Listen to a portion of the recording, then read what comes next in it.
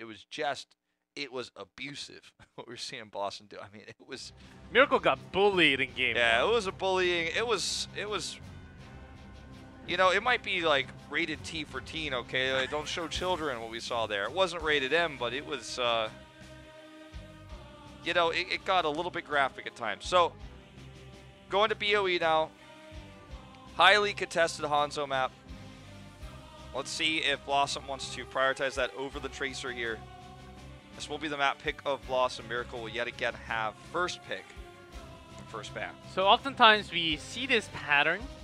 We don't really see it on screen, but whenever there's a Sonya pick and we see the lane getting destroyed, and the other format just has a fun time rotating around, but the bottom lane is already basically destroyed all the tower down, maybe even a fourth down.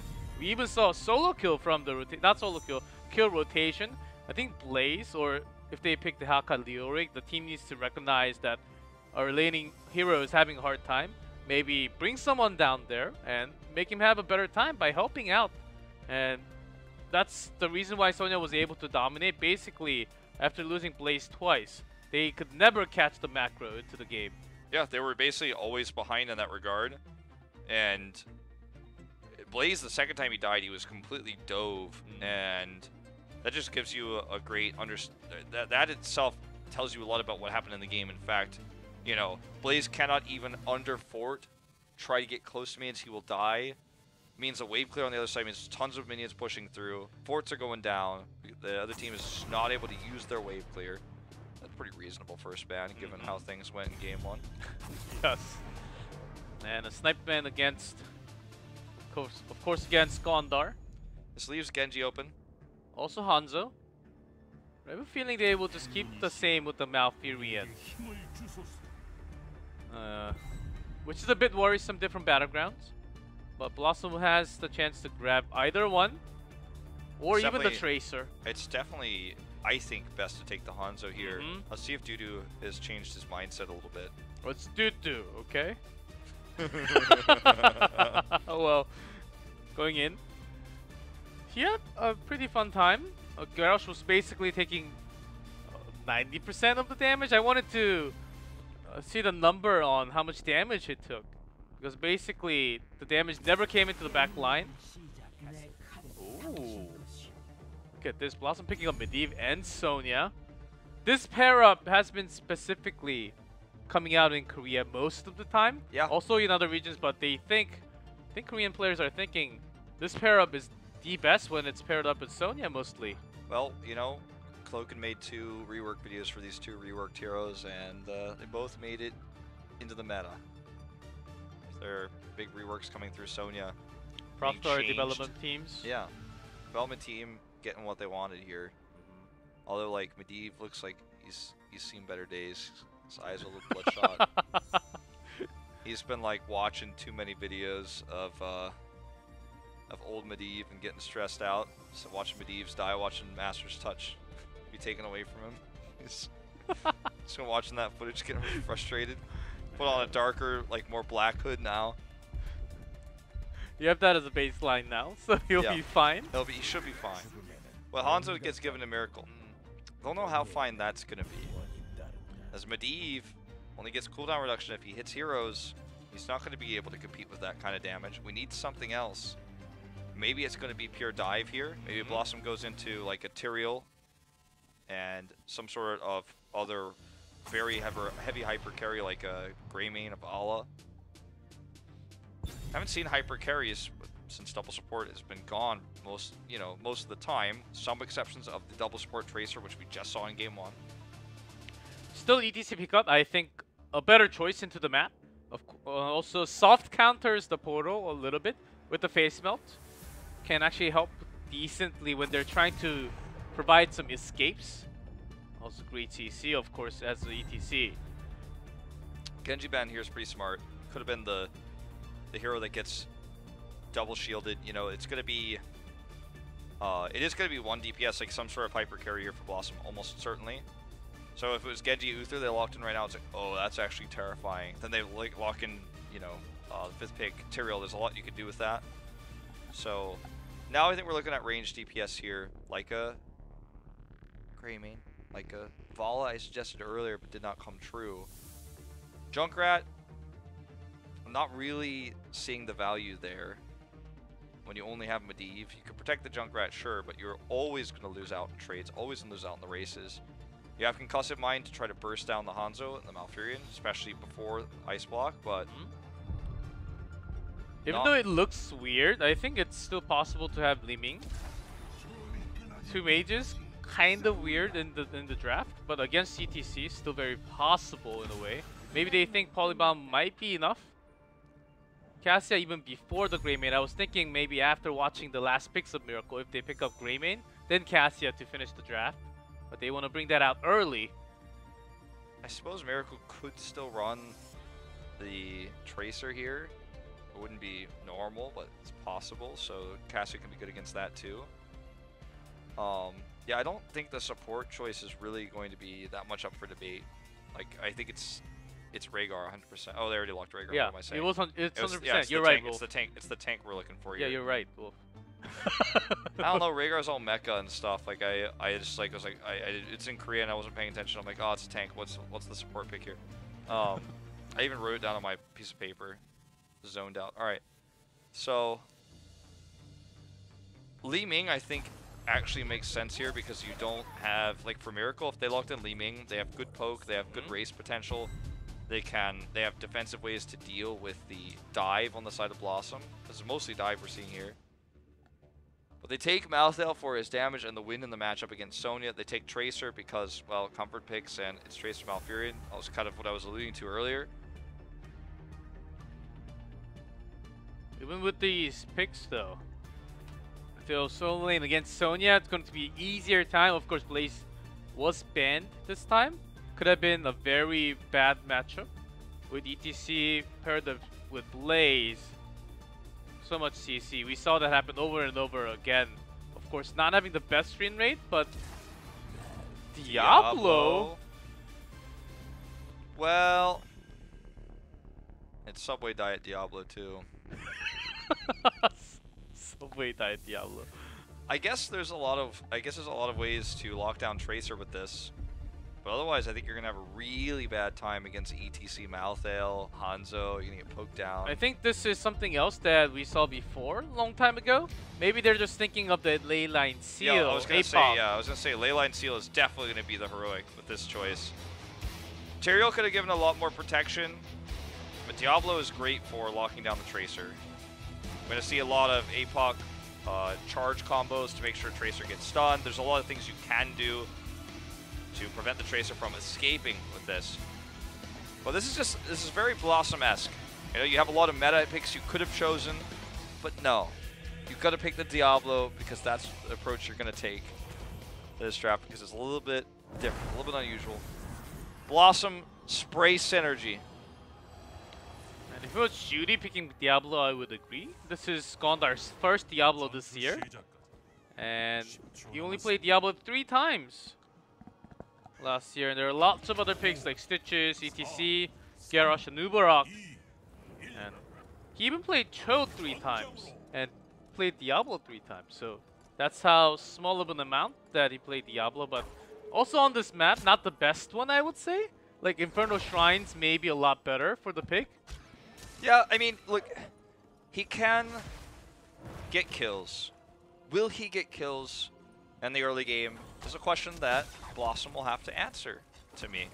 Because if, if he does not, he's going to have a tough time getting souls on a two-lane map. Very tough time.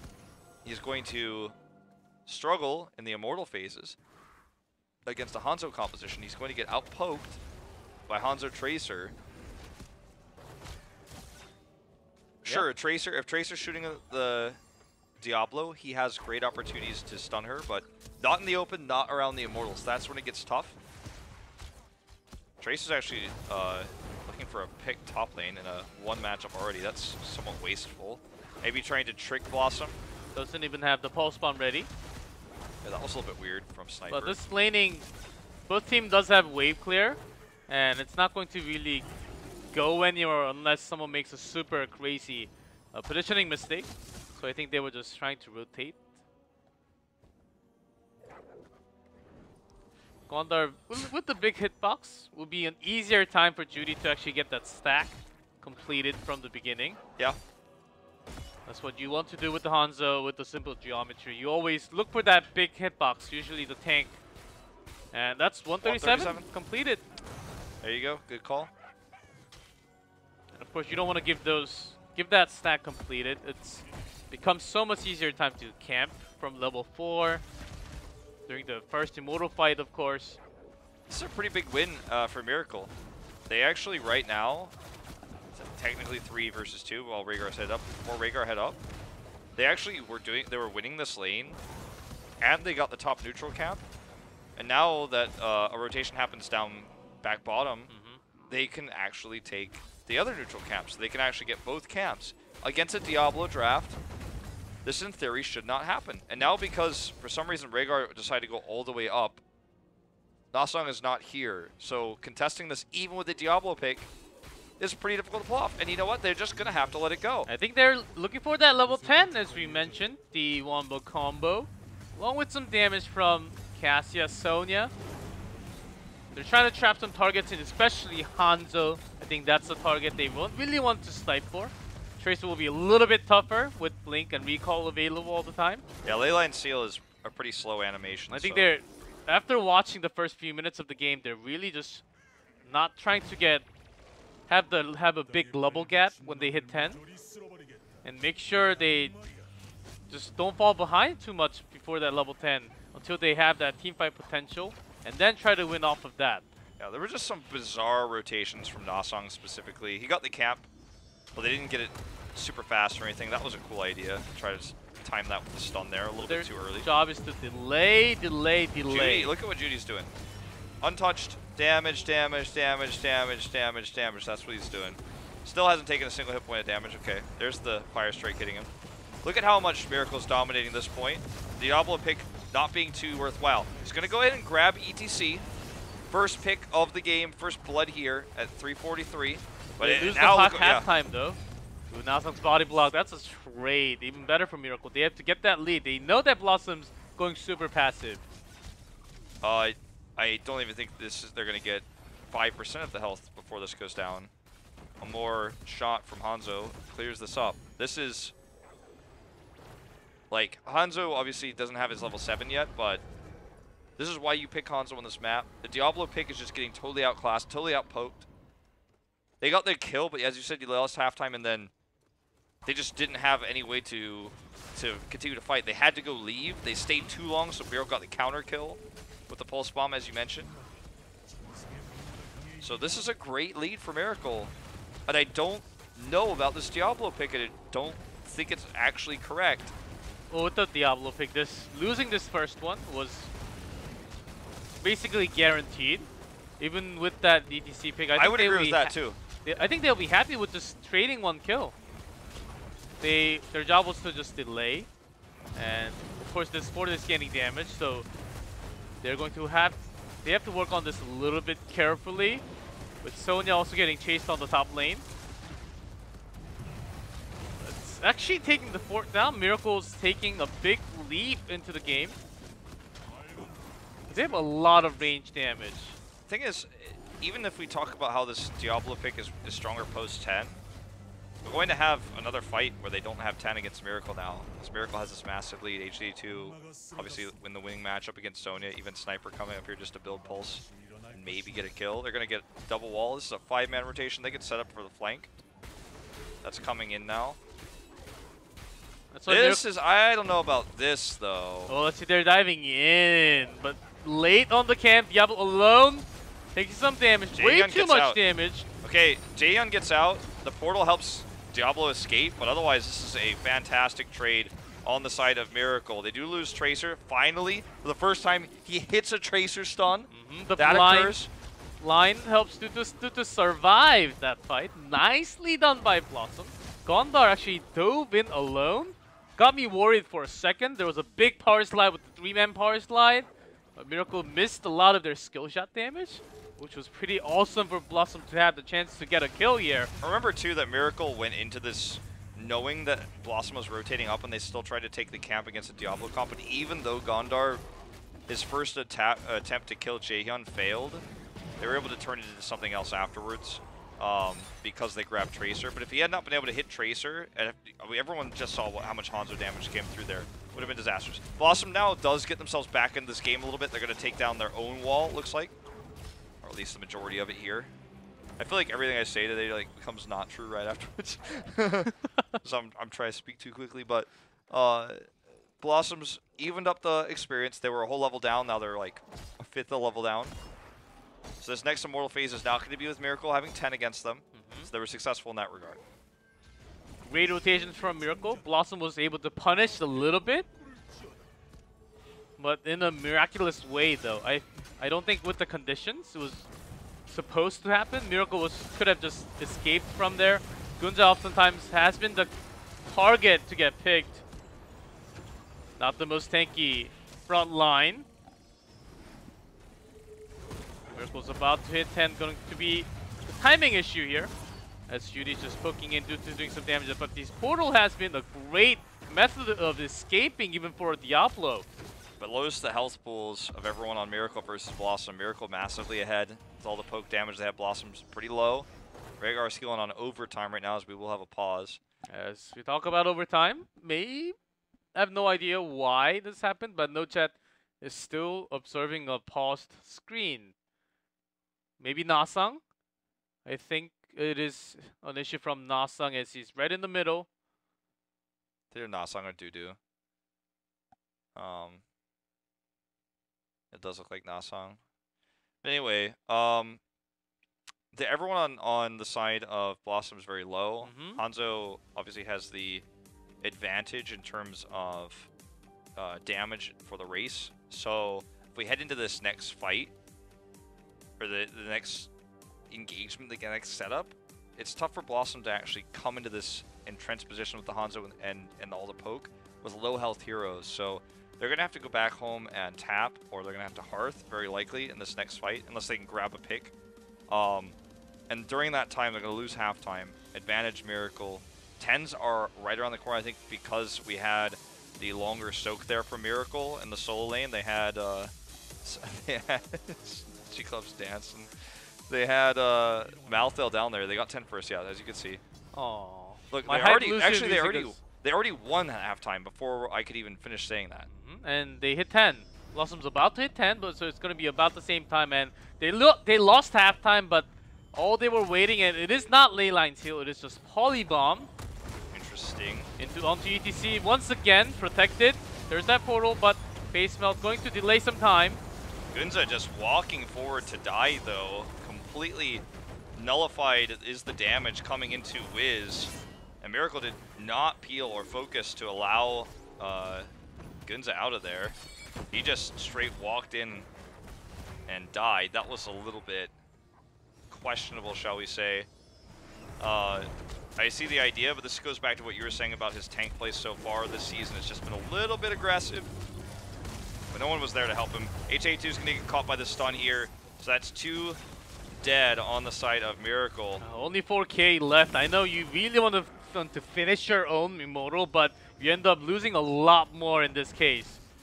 And that's not the first time that happens, so Miracle will actually lose this with a small amount of shield, but Blossom, they did a fantastic job waiting for that moment. Every time Diablo charges in, I think he screams out for that portal and he just makes the safe exit out after getting all that aggro. Yeah, as long as the shielding is continues to be this good, it can certainly work. He's obviously gotten enough kills now to finish his Soul Stone, so you can tell by his health bars how much health he has. It's quite a lot. Um, and he's got a really massive amount of regen too, which means that Rehgar doesn't have to worry about prioritizing healing on him as much. He could trade. It's another one of those moments. So there's the power slide at right after the face melt like we were talking about. Gondar does eat a lot of damage, but he's a lot of soul stones, so gets away. They grab a fort, and looks like they might just be willing to let that be all they take. Nope, they changed mind, their minds here and commit in. Going still, for wall. still a lot of HP left onto that Immortal. To open the wall, and meanwhile, Sonya is pushing the top lane, so it's okay. And they also have the portal to escape, so no big, no big deal for Blossom unless they get really caught with some PC pair up with the arrow with the CC. The mosh pit also also there. And last rites, actually. Well, I guess it's to try to burn down Gondar in these fights uh, with the pokes that are coming through. If the face melt can again deny him going into the portal, you hit last rites, there's a silence, something like that. There's enough burst to kill him, burn his soul stone, uh, make him instantly respawn. Could be the idea.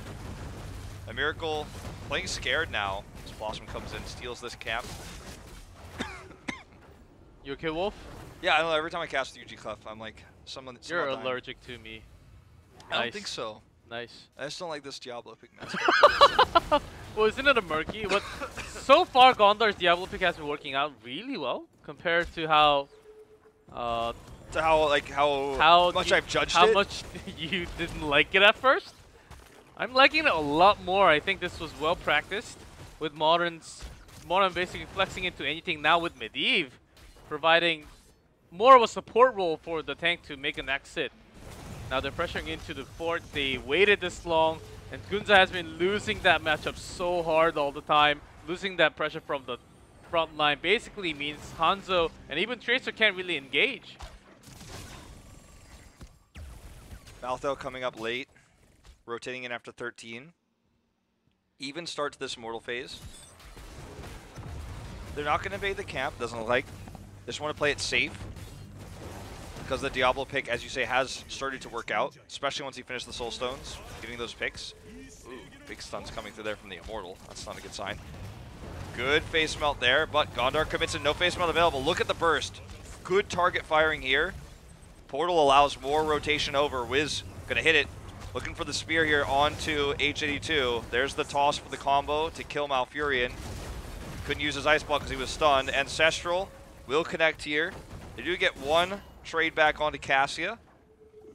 That might the have been who he was trying to ancestral. with the last rite, so that will be a kill traded and a single stack on the quest, but they lost a lot more. They have been pushed back, they lost their time to engage, and the most important thing is that Gunja is losing that frontline fight all the time. And guess what? Miracle does not have protection, protected. no protection, by the way. Yes. Hmm. It's a. It's something they have to work in mind. What do you really do here as Tracer Judy? Seemed like he was very aggressive last time in the other games, but not as much. And Sniper is trained the Tracer, who's supposed to be a lot more aggressive. I don't think I've ever seen a single solo kills pulse bombs. No, he hasn't really been finding windows of opportunity. It feels like Miracle's just not posturing because of Gunza's weakness on the ETC mm-hmm. to get solo kills onto the Diablo. This is the first time they could have maybe done it, but he was protected. Cleanse coming down here onto Wiz, but there is a mosh pit right afterwards. He gets the, out of the portal though. Gets out with the portal after the interrupt. Dudu very low, using his trait to survive through that sniper damage. Does go down eventually there to the scatter on the side of Hanzo. Nice they do arrow. get melted on the edge here. This is basically the finally the poke of miracle coming through, but with the taps on the hearth, or sorry, on the uh, well, they come back with full health. Even the Rehgar diving in. Look at that pulse. That's not going to save your teammates. I think that's just the desperation coming out from Sniper, who has not been really impressive on the Tracer so far. This four-man Hanzo grab. There's a spear connecting so low, barely Circle survived. protection, pretty strong. Modern life once more. Misses the Q and barely survives. Sniper, can he survive against the Rehgar? I don't Nope. think so. Also, I'm going to kill him there with his signature hero, the Wolf Bite. That's going to be another one immortal here. This one's going to be equally less shielded, about the exact same. Going top, so we'll have to go through the fort, but they're going to have level 16. hmm Could be critical of Sniper's inability to find pulses, but it's very difficult against a Medivh to do that. So even still, he's not really trying. Gunza's been very aggressive. We've had a few moments where, against the portal, he's been able to interrupt or stun, as we just saw. But in just standard straight-up team fights, he's often overextending, putting himself into Gondar's grab range, and the burst on this side of Blossom is too much for him to, to live through when he gets hit by Spear from Sonya. Rehgar goes in, gets slowed by the totem, and doesn't go home. I'd love to see the stat screen at the end of this game to see how much damage he absorbed and how much, uh, how many deaths he has. Wonder Gondor, dives in knowing that portal will be there. the Gets the damage. annoying. Always protected. as the Tomoro is going towards the keep now. Yeah, and this protection, as you said, has really empowered this Diablo pick. Without with this protection, Diablo's been able to do a lot more. And it's basically just saying, like, you know, you've got this point-click charge and this toss. I'm going to protect you. Just go click on them. I'll keep you healed up. And then, you know, if we need Ancestral, we will. They grab a keep with this. Looks like they want to steal another Shaman camp. This push forward from mid is scouted by Medivh, so I don't know if Miracle can contest this anymore. Thing is, they're not 16 yet, and this is not it is not the worst timing. But if they lose this one, they will basically be losing the game very likely after the fight. So they're not really engaging. Big risk, bigger risk for Miracle. So ended up just losing the camp. Also, they have Hanzo. So it's going to be easier time just clearing up that camp. Will just take a few seconds. What a mess for Miracle. And what do you do here? As long as... If Sniper is able to get some damage onto Cassia or Rehgar would be the best target, but has not been happening at all. Yeah, I mean, he just can't find any targets because if he gets in range to do so, he's going to get stunned by Gondar. And even if Gondar has to go out of his comfort zone to do that, Modern Life has so far been doing a great job of putting that protection on him. Now they have circle protection, they can all go in in these moments, uh, even when uh, Miracle is in good position to help protect the Tracer when she's trying to toss those bombs, because it's going to be a big ring of protection, or a circle of protection, if you will. Uh, Miracle's going to invade this, I think just because they're desperate. They almost lost the second keep. Maybe their last chance. Ooh, they didn't even get the cap. Now EJ2 is taking some extra damage here. Sonic Arrow comes out. They spot the positioning. They want to go for Gondar here. There's a good power slide. Protection comes through. HA2 eating a lot of damage, but Polybomb is required to peel away Sniper. Recalls back, caught by the second grab there. Gets traded out. Protection nullifies the Pulse Bomb. Sanctification, or it's not Sanctification, Ancestral Healing is going to connect onto Dudu this time. Oh, and man, they even got Portal for the Chase. Great route here. This might actually save the rest of the team. That was a great mosh pit, how Gunza was peeling for his teammates, but Sniper was caught by Diablo. No extra pulse bomb or damage was connecting little from Hanzo, but not enough to get the kill. If you want to get the kill, you have to really use that last stride or the pulse bomb to pick that up. But protection, of course, helped a lot. Best case scenario for Miracle, but hold on as they jump in. Polybomb's up again, so in this choke point, it's going to be difficult to approach. Win ha winning halftime. The top push is still going, but it's really uh, neutered a lot by the top catapults. Just didn't really do too much, didn't even start touching that port, So they didn't have to deal with that. That wasn't pressure they were really worried about. They can just focus all their attention on the Immortal Race. Okay, targeting here again onto HA2. He does get out, jumping over the side of Gondar here. Blossom just wants to finish this Immortal at all costs right now, but they are going to be forced to push away. Sniper tried to get a pick there, but didn't actually get the pulse. But here comes a really nice power slide. You see the polybomb forced to be used. Last Rite's going to get the kill into Cassia. Wiz does get blown up here by this pulse bomb. No protection this time.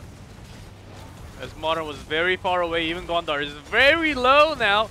Doing so much damage though, Diablo actually will do a lot more damage than most tanks if he's protected. What? He's carrying this fight right now. Without he, the DPS. And he has, he's going to use another APOC here. He has a huge amount of, of healing rate right now. AJ2 gets taken out. Judy. I don't think he's going home. Okay, Gondar went the wrong way. Judy's still Oh, that would have been huge. Okay, he's going to get the grab, I think. Charge. There you go. One auto should do it. Nasong steals the kill. Kill Thief. Look at this catapult push. Four catapults top. Immortal's going to go bot. Full shielded Immortal. What did you say about Diablo Pick Wolf? Look, you know, maybe I underestimated it. I'll, I'll, I'll give him the Diablo pick. It was pretty good. It struggled in the early game, but once he got his souls, it was able to heal through. I mean, he would trade well because he had the protection.